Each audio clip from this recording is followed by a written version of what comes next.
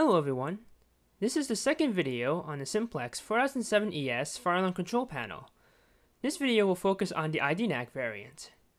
Unlike the hybrid version, which has four conventional signal circuits, the IDNAC 4007ES has a single SLC loop for addressable signals, as well as two onboard programmable relays. The IDNAC loop can contain up to 127 addressable signals. This demo setup features three initiating devices and two notification appliances. For initiating devices, we have a 4099 9004 pull station, a 4098 9714 smoke detector, and a 4098 9733 heat detector. The notification appliances include a 49VO WRF strobe and a 49AV WRF horn strobe, both part of the TrueAlert ES series. Above these devices is a 4606 9205 touchscreen annunciator. This setup is 100% addressable, meaning each device has a unique address and sends information back and forth to the host panel. With addressable signaling, each notification appliance can be individually tested for audible and visual functionality.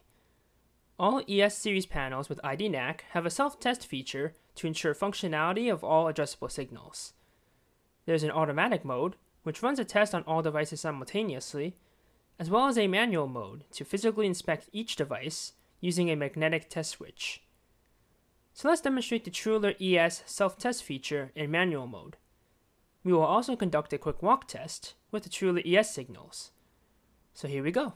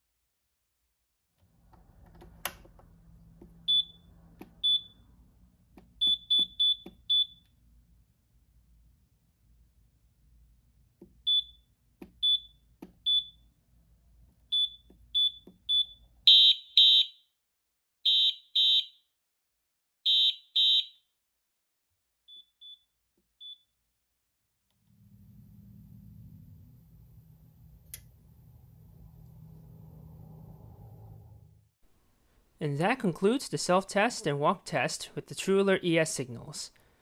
Interesting to note how the addressable signals do not activate the strobes on walk test.